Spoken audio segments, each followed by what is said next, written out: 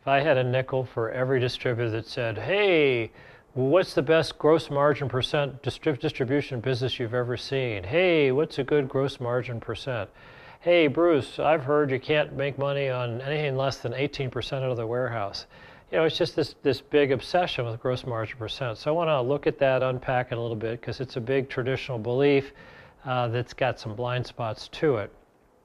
I think that starting off, it's, it's, it's, it's just logic.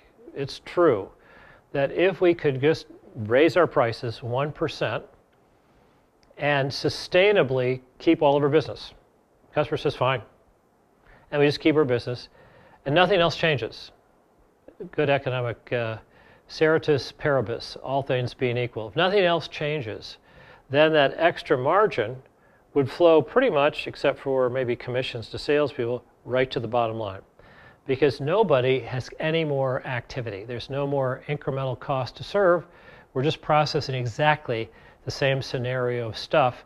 It's just there's a little bit more gross margin dollar content in what we're doing. So that's brilliant. So by saying, okay, higher margin percent is better, we then make the false leap to therefore anything with high margin percent is better. No. Because an account has a high margin percent doesn't mean that they have high margin dollars per transaction that exceed their cost to serve dollars. Not at all. But that's what we do.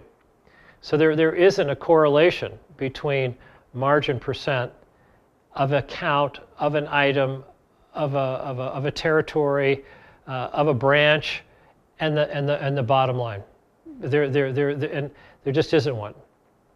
So when we look at gross margin percent um, and start to have a bias and think that, hey, it's got high margin on it, is good. So that means the small pick items, where, where they're, you know, we sell them for 50 cents, we buy them for 10 cents, and maybe, maybe that line from that supplier turns four or five times a year. So the, the GMROI, the gross margin per return on invested dollar, or the turn earn looks fantastic. It's not looking at another dimension, which is the value equation of gross margin dollar for the cost to serve dollar as there's profit because it's a disaster. Same with high margin percent house accounts.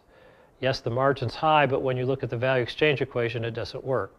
So because we have these, these biases, you know, focus on, on margin percent, uh, we tend to probably overprice a lot of direct ship orders because, gee, we don't want to be too, too low there. Fortunately, all of our competitors do too. So we win these things and make a lot of money on them. Whereas on the high natural margin stuff, house accounts, Nobody cuts the price of the stuff. It's just it's just there, but we tolerate it. We don't we don't even bother inspecting. We just say, God, thank God we got that. That's pretty good. Maybe sometimes we even aggressively go after more of that business, not realizing perversely it's it's causing us more cost to serve dollars than margin dollars, and we're, we're, sales are going up and our profits are going south.